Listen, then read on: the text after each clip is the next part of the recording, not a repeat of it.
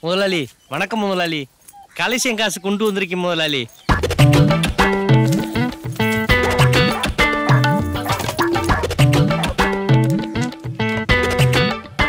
ஓ தீபாவளி வருதுல அதே புது ட்ரெஸ் எடுத்து வச்சிருக்காரு இருக்கு வேண்டுமா கொடுக்க போறிய?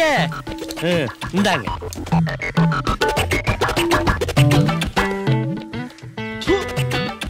பாவம் பார்த்து பஸ்ஸில் கண்டக்டர் வேலை கொடுத்தா லவ் பண்ற பசங்களுக்கு ஐடியாவா கொடுத்துக்கிட்டு இருக்க? இல்ல முதலாளி நான் அப்படி போய் பண்ணுவேனா? இத பாரு குணாவை பகைச்சுக்கிட்டு கும்பகோணத்துல என்னால தொழில் பண்ண முடியாது. நீ வேற எங்கனா வேலை பார்த்துக்கோ. அப்படின்னா சொல்லாதீங்க முதலாளி உங்களை விட்டு நான் எங்க முதலாளி வேலை வைப்பேன் நீ இப்போ போறியா?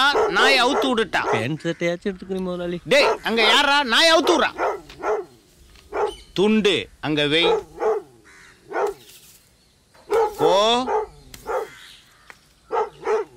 விடுகதையா இந்த வாழ்க்கை விடை தருவா. என்னண்ணே வேலையை விட்டு தூக்கிட்டாங்களா? எல்லாத்தையும் பண்ணிட்டு ஆறுதல் சொல்றது கரெக்டான டயத்துக்கு வரையில எப்படிரா?